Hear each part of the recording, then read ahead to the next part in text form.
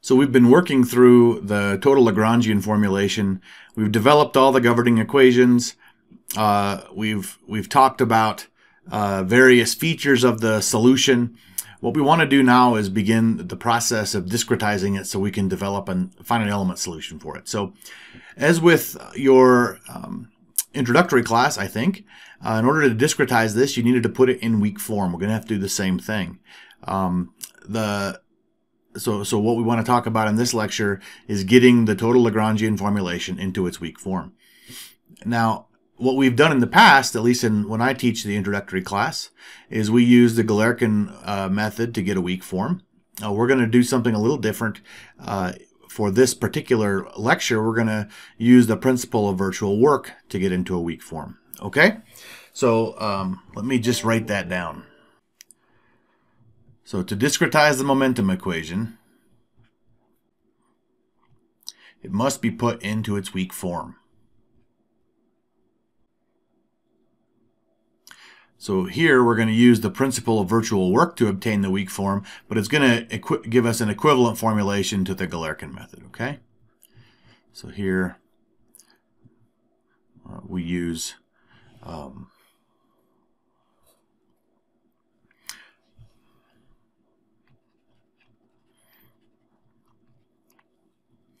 So here we're going to use the principle of virtual work to get the weak form.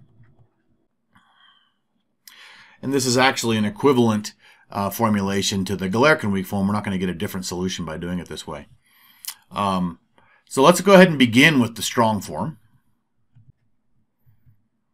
And what's the strong form? That's just the momentum equation uh, and its traction boundary conditions. So let me remind you what that was in case you forgot. That's the quantity A naught times P, where P was the nominal stress, the partial with respect to x plus rho naught a naught times b, right? B is a, a body force per unit um, mass minus rho naught a naught uh, times u double dot, right? Uh, is going to be equal to zero, right? That's our that's our momentum equation. Let's call that equation one. So how did you get the, your, your weak form when you worked the Galerkin method? Well, you multiplied by some function. You called it a weight function um, and integrated. So we're going to do the same thing. We're going to multiply it. We're going to call it a test function, but it's the same principle. We're going to multiply it by some function and integrate, okay? Okay, so here we go. Integral of now our domain from xa to xb. Uh, the, our test function is going to, just going to be uh, we'll call it delta u, which will be some function of x, right? That's our test function. Now multiplied by this whole quantity. So a naught p with partial with respect to x plus rho naught a naught b minus rho naught a naught u double dot dx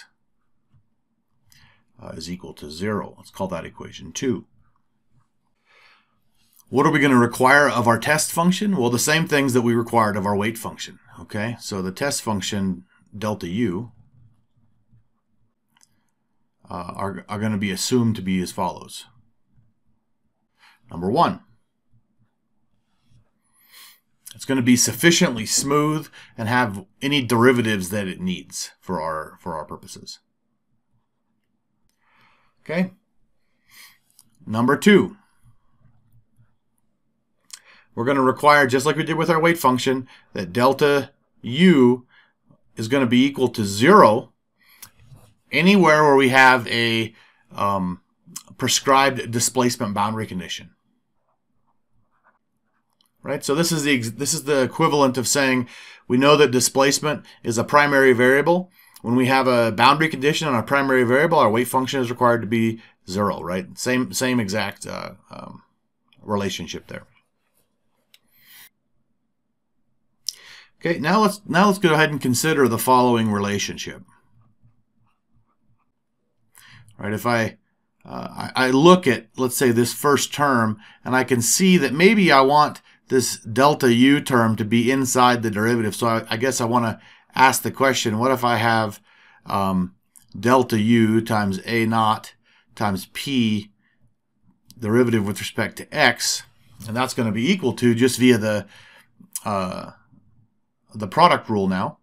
That's going to be um, delta u times a naught p partial with respect to x plus delta u partial with respect to x times a naught p, right? So we can go ahead, we have this term delta ux a naught p partial with respect to x, that's this quantity here. We can solve for that in terms of these terms, okay? So that means that delta u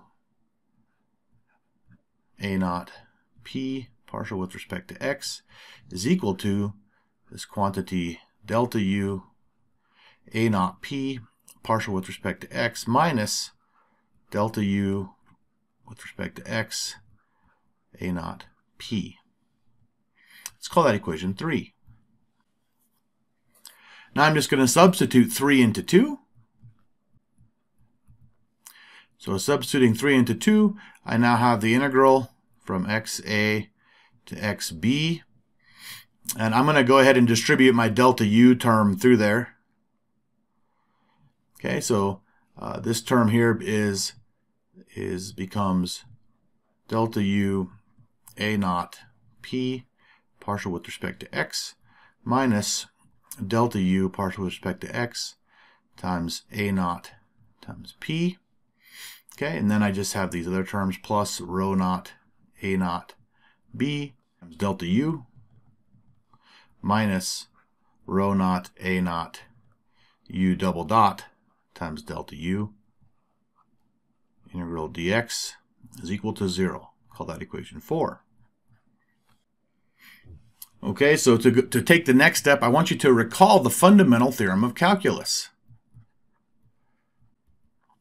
Right, what did that say? It said, well, if I have an integral from a to b of some function uh, derivative with respect to x dx, right, then that must be equal to f of b minus f of a, right? That's the fundamental theorem of calculus. We could write that in our terminology as f evaluated at the boundary, right? Because that's what that is. Let's call that equation 5. So what I want to do now is I want to apply this to this first term in the integral. You see I have this function then with a, a, derivative with respect to x, I'm going to apply the fundamental theorem of calculus to it, okay? So I'm going to apply 5 uh, to equation 4, to the first term in the integral in equation 4. So, so here's my equation now. I have integral from xa to xb this is going to come out of the integral now. It's going to become a boundary term, so I'm going to leave that alone. And I'm going to write this term here as negative uh, delta u uh, derivative with respect to x uh, times a naught p plus rho naught a naught b times delta u minus rho naught a naught u double dot times delta u, so that quantity there, right? dx, and now I need to do have done something with that term, right? So we'll say plus this this term here, which looks like delta u a naught p, right, evaluated on the boundary. And that equals 0. Call that equation 6. One of the characteristics that we uh, mentioned about delta u is that it equals uh, 0 identically on any sort of displacement boundary. So this last term is automatically 0 anywhere there's a displacement boundary, so we don't really need to include that component. So we can write it as uh, just on the traction boundary. So say note uh, that delta u equals 0. This was by, uh, by definition uh, on whatever the boundary of u is. Okay, then the last term need only be over the boundary, the traction boundary. Right, we call that traction boundary gamma t. And we're also going to multiply through by a negative and rearrange. Okay. So we now have the integral from xa to xb of uh, del u comma x a naught times p. Uh, now I'm going to factor this out minus delta u times rho naught a naught b minus rho naught a naught u double dot dx, right, let's put the bracket here, minus delta u a naught p evaluated on the traction boundary equals 0. Equation 7. Okay? So what is this? This, so what, what I've got here is, uh, is actually the weak form, right? Okay, here's the weak form of the total Lagrangian equation. Okay, now we're going to do a little bit more specialization. Okay, we're going to define what that test function delta u is. Okay, so we're going to define it to be what's called a virtual displacement or test displacement. Okay. So if it's a virtual displacement, that means it's not real. Uh, it's just it's sort of a, um, a, mathematical construct, right? Then it leads to a, a statement of virtual work. Okay. Okay. So this leads to the following virtual work terms. We can define the work done by the external loads. Call that delta W ext. That's going to be equal to the integral from XA to XB. What are the external loads? Well, um, that's the work done by the body force and the and the traction boundary conditions, right? So uh, we can define that as uh, delta U times rho naught A naught B, right? dx uh, plus this boundary term, delta U times A naught P evaluated on our traction boundary. Okay, let's call that equation 8. So that's the external work done. Notice that I I left, I changed the sign, right? There was a negative sign, and that's just because of how we define external work, right? We define it with a negative sign. Um, how about the, so this is, let me just define that. This is the virtual uh, external work. Okay. Uh, we can define the virtual internal work.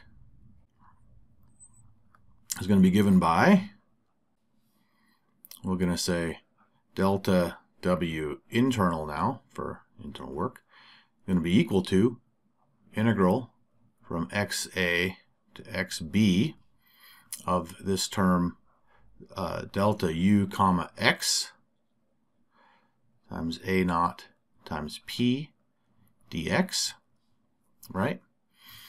So remember, this this looks a lot, uh, the derivative of x with respect to, or the derivative of the virtual displacement with respect to x gives us a virtual strain multiplied times our stress, right? Uh, that quantity is going to give us the, the uh, internal work uh, done by the stresses, right? We did that in a previous lecture. Let's call this equation 9. Okay, so finally now we're going to define the virtual kinetic work, or sometimes it'll be called the virtual inertial work, as follows. We'll say it's delta W kinetic will be equal to the integral x of a to x of b times delta u rho naught a naught u double dot dx right? Call that equation 10. Okay, and then we can say that substituting 8 and uh, 9 and 10 into equation 7,